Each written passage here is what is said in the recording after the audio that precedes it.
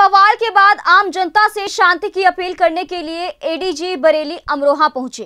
उन्होंने शहर की सड़कों पर उतरकर जायजा लिया। एडीजी बरेली ने एसपी के साथ मिलकर शहर के लोगों से बात की और किसी भी प्रकार की अफवाह पर ध्यान न देने और अराजक तत्वों की तुरंत जानकारी देने की अपील की। साथ ही दिल्ली से लौटने वाले लोगों पर भी निगाह बनाए रखने की बात कही। दरअसल दिल्ली में हुए बवाल के बाद जो लोग अमरोहा लौटकर आ रहे हैं, उन सभी पर अमरोहा पुलिस की निगाह है। साथ ही सोशल मीडिया पर अफवाह फैलाने वालों पर भी नज़र बनाए हुए है। अमरोहा में एडीजी बरेली अविनाश चंद्र प्रशासनिक अमले के साथ शांति की अपील करने के लिए पहुँचे। एडीजी बरेली जॉन अविनाश चंद्र ने इस दौरान पत्रकारों से बातचीत भी की, जिसमें उन्होंने कहा कि जो लोग अफवाह फैला रहे हैं और जो लोग शांति व्यवस्था को बिगाड़ना चाहते हैं, उन लोगों पर पुलिस की पैनी नज़र है और किसी भी हाल में शहर का माहौल बिगाड़ने नहीं दिया जाएगा। अमरोहा से संवाददाता मोहम्मद आसिफ की रिपोर्ट। ऐसा है, पहले तो मैं यहाँ के सभी नागरिकों को धन्यवाद देता हूँ कि पिछले दो महीनों में जो सेंसिटिविटी थी सीए का विरोध हो रहा था, प्रदर्शन धरना चल रहा था बहुत जगहों पे, उसमें लोगों ने संयम से काम लिया और छुटपुट घटनाओं को छोड़ करके मोटे तौर पे अमरोहा शांत रहा। तो पहले लिए, सबसे पहले मैं उसके लिए सबको धन्यवाद देता हूँ। और जो दिल्ली में भी घटना हुई है पिछले दो तीन दिनों में फ्राइडे सैटरडे संडे मंडे उसको लेकर के सेंसिटिविटी बढ़ गई है।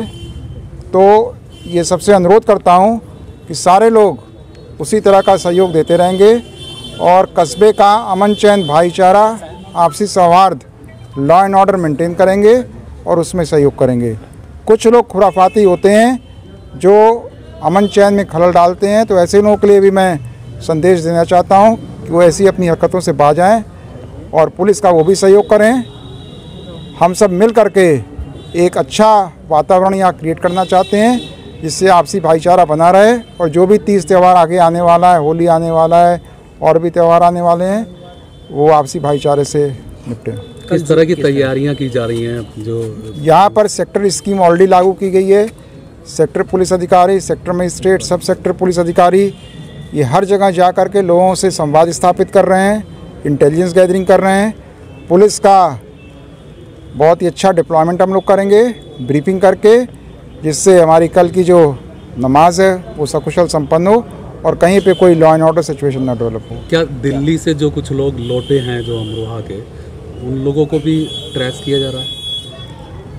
उनके ऊपर हमारी नज़र है जो भी इनपुट हमें पल पल जो बदलती परिस्थिति है उस पर हम लोग नज़र रखे हैं और जैसी अपेक्षित कार्रवाई है वो की जा रही है।